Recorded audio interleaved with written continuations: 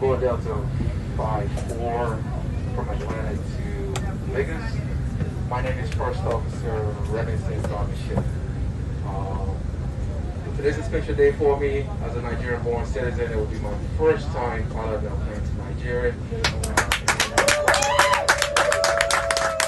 really, really appreciate everybody joining us on this flight it is a milestone for myself.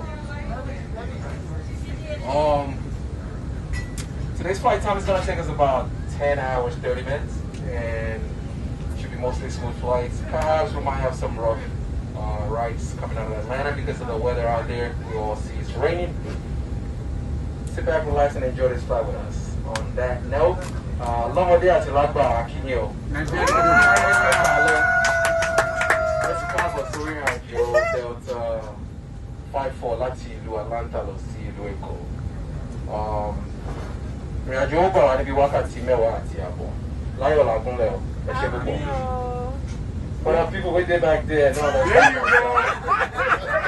My name na First Officer Remington Babishile. I just say make I greet una for tonight. Uh, about 10 hours, 30 minutes for the flight.